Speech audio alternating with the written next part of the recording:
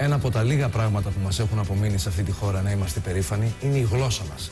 Αυτή τη στιγμή μια ολόκληρη γενιά καθημερινά πληκτρολογεί ασταμάτητα γκρίγκλις. Μια ολόκληρη γενιά έχει σχεδόν ξεχάσει να γράφει ελληνικά. Και θα ακολουθήσει κι άλλοι, κι άλλοι, κι άλλοι. Εκτός αν συνειδητοποιήσουμε το μέγεθος του προβλήματος, του εγκλήματος που διαπράττουμε εναντίον της ελληνικής γλώσσας.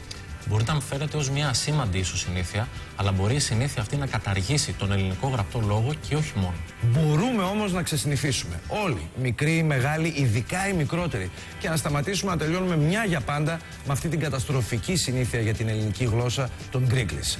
Και μπορούμε να το κάνουμε εύκολα, φτάνει να το κάνουμε όλοι μαζί.